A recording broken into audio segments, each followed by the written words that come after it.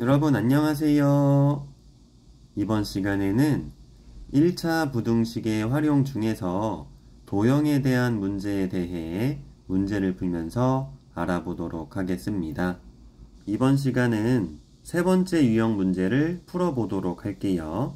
문제를 보면 윗변의 길이가 3cm이고 높이가 10cm인 사다리꼴의 넓이가 45제곱cm 이하일 때 아랫변의 길이는 몇 cm 이하인지 구하세요 라고 되어 있고요. 이렇게 1차 부등식의 활용 문제를 풀이하는 순서가 있는데요. 그 첫 번째 순서는 미지수를 정해주는 것입니다. 미지수는 문제에서 구하려는 것을 미지수 x로 두는데 문제에서 구하려는 것은 문제 맨 마지막 부분을 보면 알 수 있습니다. 문제 맨 마지막 부분을 보면 아랫변의 길이는 몇 센티미터 이하인지 구하세요 라고 되어 있잖아요. 그럼 이 아랫변의 길이가 바로 미지수 x가 되는 것입니다.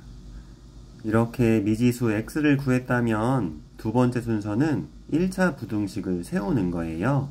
1차 부등식을 세운다는 뜻이 무슨 뜻이냐면 x를 사용하여 1차 부등식을 만들어 준다는 뜻입니다.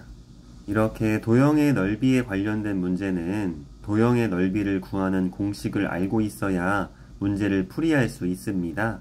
그래서 도형의 넓이를 구하는 공식을 먼저 알아볼게요. 삼각형의 넓이는 밑변의 길이와 높이를 곱하고 2로 나누면 됩니다.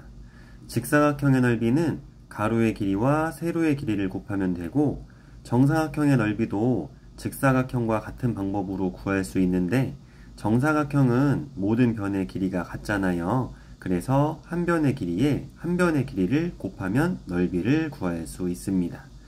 평행사변형의 넓이는 밑변의 길이에 높이를 곱하면 되고 마름모의 넓이는 한 대각선의 길이에 다른 대각선의 길이를 곱해서 2로 나누면 됩니다. 그래서 마름모의 넓이는 다른 두 대각선의 길이를 곱해서 2로 나누어 준다고 이해하셔도 되겠습니다. 사다리꼴의 넓이는 윗변의 길이와 아랫변의 길이를 먼저 더하고 높이를 곱한 다음 2로 나누어 주면 되는데 윗변과 아랫변을 더하고 높이를 곱하면 평행사변형의 넓이와 같습니다. 그래서 평행사변형의 넓이를 2로 나누면 사다리꼴의 넓이라고 이해하시면 되겠습니다. 그럼 이 문제는 사다리꼴의 넓이 문제이므로 사다리꼴의 넓이를 구하는 공식을 이용하여 식을 만들어 볼게요. 사다리꼴의 넓이를 구하는 공식은 괄호 열고 윗변의 길이는 3cm라고 했잖아요.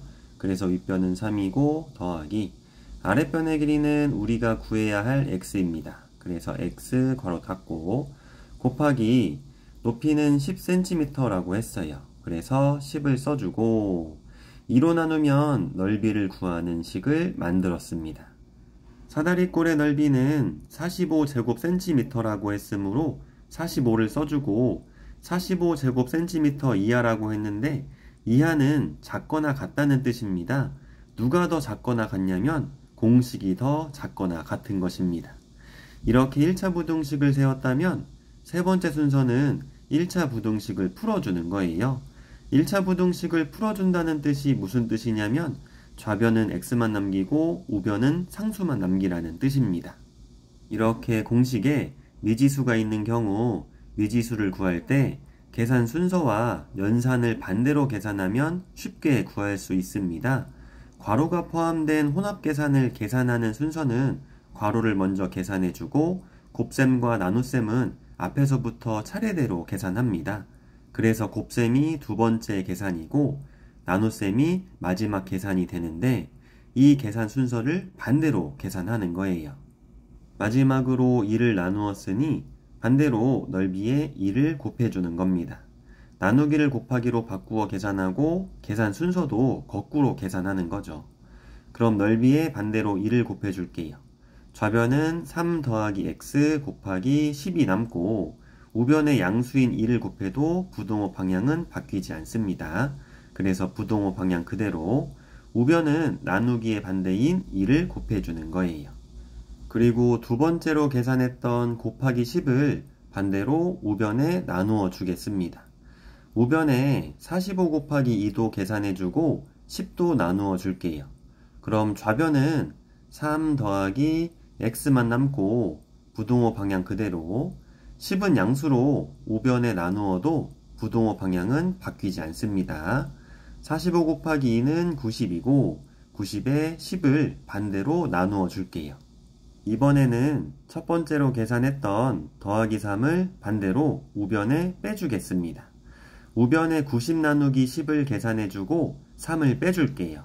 그럼 좌변은 x만 남고 부동호 방향 그대로 양변에 같은 수를 더하거나 빼도 부동호 방향 바뀌지 않습니다. 90 나누기 10은 9고 9에 3을 반대로 빼주는 겁니다. 정리하면 x는 6보다 작거나 같다가 되는데 이것이 답이 아니고 문제에서 몇 센티미터 이하인지 물었잖아요. 그럼 정답은 몇 센티미터로 써주는 겁니다. 따라서 정답은 6cm가 되는 것입니다. 문제에서 범위를 구하세요 라고 했다면 정답은 부등식으로 써주고 이렇게 몇 센티미터 이하인지 물었다면 정답은 몇 센티미터로 써주는 겁니다. 여기서 끝이 아니고 마지막으로 내가 구한 해가 맞는지 확인해 줍니다. 확인하는 방법은 내가 처음 만든 부등식에 내가 구한 해를 대입해서 맞는지 확인하고 문제에서 몇 센티미터 이하인지 물었으니까 6cm보다 1cm 큰 7cm도 대입해서 맞는지 확인해 보겠습니다. 그럼 먼저 x가 6일 때 정답이 맞는지 확인해 볼게요. 만든 식의 x에 6을 대입하면 괄호 열고 3 더하기 6 괄호 닫고 곱하기 10 나누기 2 부동호 방향 그대로 우변은 45가 되고 좌변 계산하면 3 더하기 6은 9고 9 곱하기 10은 90 90 나누기 2는 45가 되고 부동호 방향 그대로 우변도 45입니다. 좌변과 우변이 같은데 좌변이 작거나 같다고 했으니까 x가 6일 때는 정답이 맞습니다. 이번에는 x가 6보다 1큰 7일 경우도 맞는지 확인해 볼게요. 만든 식의 x에 7을 대입하면 괄호 열고 3 더하기 7 괄호 닫고 곱하기 10 나누기 2 부동호 방향 그대로 우변은 45가 되고 좌변 계산하면 3 더하기 7은 10이고 10 곱하기 10은 100 100을 2로 나누면 50이 됩니다. 부동호 방향 그대로 우변은 45로 50은 45보다 큰데 작거나 같다고 했어요. 그럼 x가 7일 때에는 정답이 아닙니다. 따라서 정답은 6cm가 되는 것입니다. 감사합니다.